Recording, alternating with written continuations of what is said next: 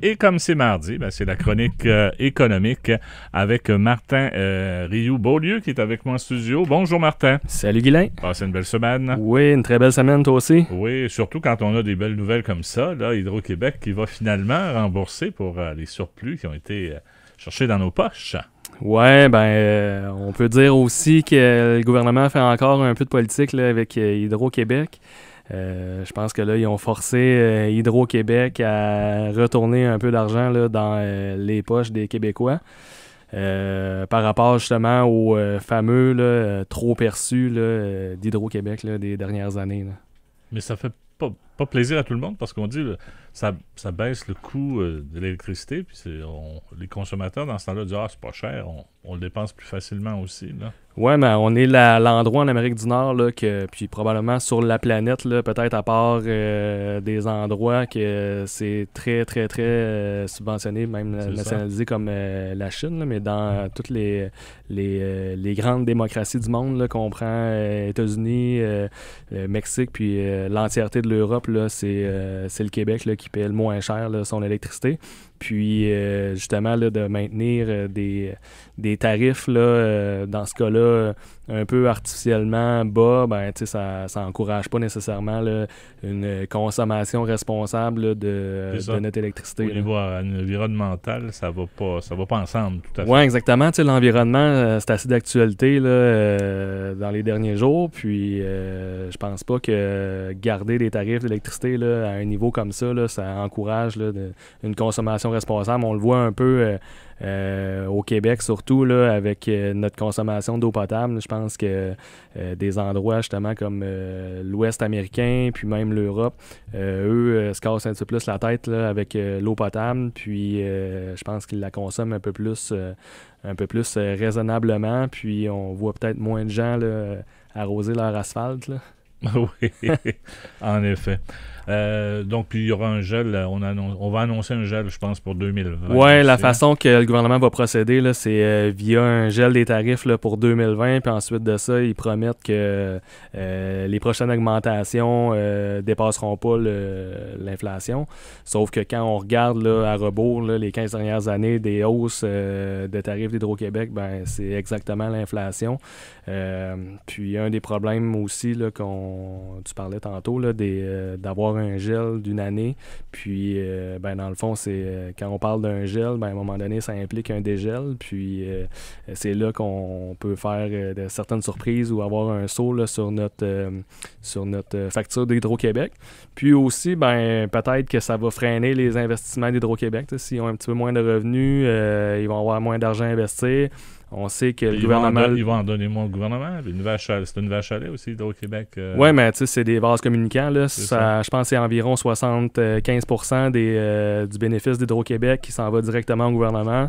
Euh, le gouvernement fait quoi avec ça? Ben, il, paye, il paye des services Ben, à la population. Fait que si il y a ont moins de ils vont revenus, ben, ailleurs. ils vont augmenter les impôts, couper les services. Puis euh, aussi, ce que j'allais dire, ben, récemment, euh, le premier ministre Legault est allé euh, se promener à New York, puis je pense qu'il est revenu de là avec des, une sorte d'entente de principe en ce qui a trait justement de l'exportation d'hydroélectricité. Puis euh, si, euh, si, dans le fond, là, on freine un peu la croissance euh, d'Hydro-Québec via les tarifs locaux, ben, on va peut-être limiter aussi les, la capacité d'exportation de- d'Hydro-Québec, puis limiter aussi l'argent neuf, là, comme... C'est Comme on c'est aime interrelié, comme on dit. Hein, Ouais, exactement.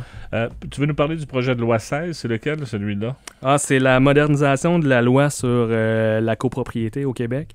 Euh, c'est un mode de copropriété de, détention qu'on voit moins dans notre région. Euh, ce qu'on voit, et surtout ici en copropriété, c'est surtout euh, des résidences secondaires, tout ce qui touche des fois là, autour des plans d'eau.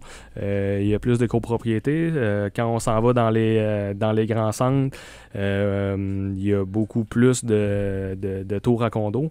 Puis, dans le fond, ce que je voulais dire, c'est c'est que, un, ben, c'était le temps que le gouvernement euh, se mette le nez là-dedans. Ça a été un petit peu le, le, le free-for-all, le Far West, si on peut dire, dans euh, les 15-20 dernières années, euh, surtout au niveau, au niveau de la gouvernance. Les administrateurs. des syndicats de copropriété n'étaient pas nécessairement qualifiés pour, pour administrer, dans le fond, une tour, une tour d'habitation qui, tu sais, si on prend une tour à Montréal ou une tour à Québec, ben, la valeur de l'immeuble souvent dépasse, les, millions de dollars. On peut parler de 4, 5, 6, 7, 8, 10, 20 millions de dollars. Puis quand on n'a pas de personnes qualifiées pour administrer euh, ce bâtiment-là, ben, ça peut avoir des répercussions euh, à long terme. Des fois, c'est des cotisations spéciales. Les gens euh, achètent des, condos parce que souvent, c'est la première habitation que les jeunes sont capables de, s'acheter.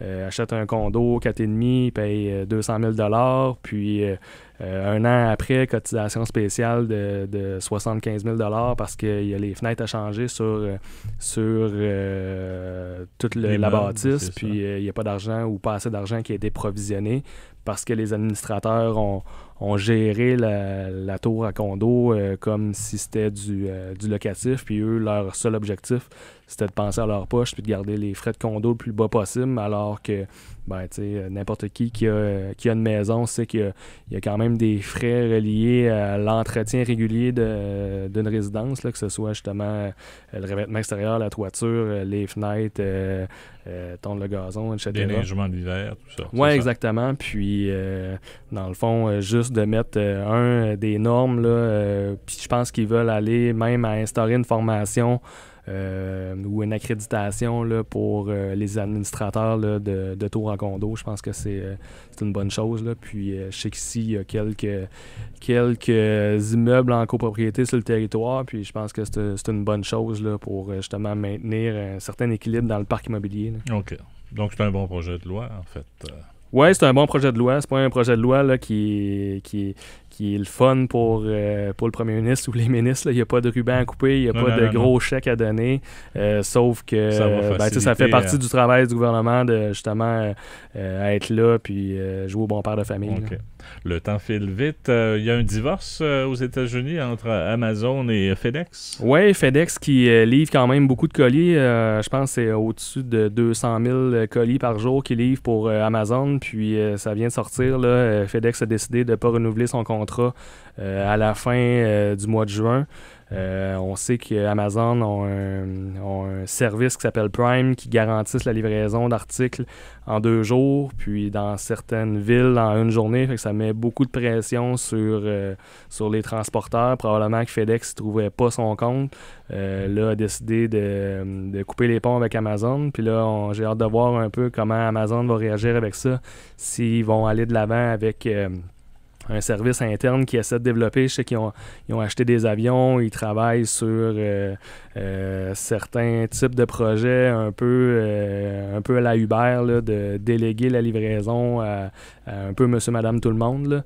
fait que j'ai hâte de voir comment l'industrie de la livraison là, va, se, va se transformer aux États-Unis. Puis le, le Canada puis le Québec est toujours un peu à la traîne. On devrait voir des changements peut-être dans un an, deux ans ou trois ans au Canada étant donné qu'on est plus petit, puis que le marché réagit de la même façon, mais euh, des fois un petit peu à rebours. Fait que c'est intéressant à surveiller. On en avait parlé dans dans une chronique là, euh, autour du temps des fêtes. Sans compter qu'on aime de plus en plus recevoir nos commandes rapidement. Oui, exactement. Et en terminant, code d'écoute, tu veux me parler des Raptors de Toronto euh, qui sont en finale. C'est des bonnes codes d'écoute pour RDS? Oui, hier, 338 euh, 000 personnes qui étaient, qui étaient à l'écoute pour une chaîne spécialisée pour du sport qui n'est pas du hockey au Québec, puis qui est surtout pas le Canadien. je pense que c'est exceptionnel comme chiffre. probablement que TVA Sport aimerait ça avoir ces codes d'écoute-là en série. Euh, là, je sais que c'est la finale, ça attire toujours un peu plus de monde.